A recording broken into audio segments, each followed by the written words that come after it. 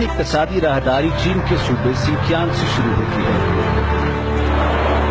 ये बड़ी सड़क पाकिस्तान में गिलगित बल्तिस्तान के इलाके खुंजराब में दाखिल होती है। जिला गिलगित से होते हुए ये सड़क खैबर पख्तूनख्वा में दाखिल हो जाती है।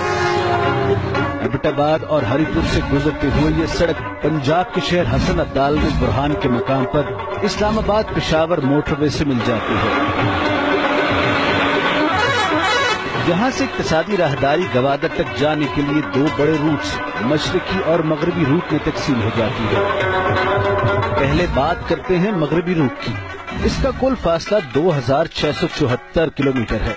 पंजाब के जिला अटक से शुरू होने वाला ये रूट खैबर पख्तूनख्वा के शहर डेरा इस्माइल खान में दाखिल होता है। इसके बाद ये फाटा से गुजरता हुआ बलूचिस्तान में दाखिल हो जाता है।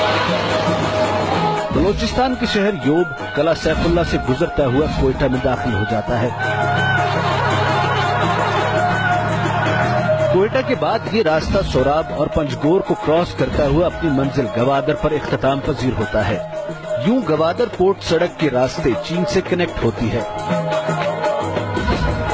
मशरकी रूट की बात की जाए तो इसका कुल फासला 2781 किलोमीटर है। रूट मौजूदा M2 यानी लाहौर इस्लामाबाद मोटरवे से शुरू होता है।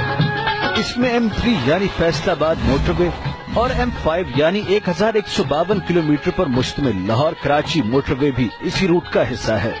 इस रूट पर बड़े शहरों में लाहौर, मुल्तान, सखर, हैदराबाद और कराची आते हैं।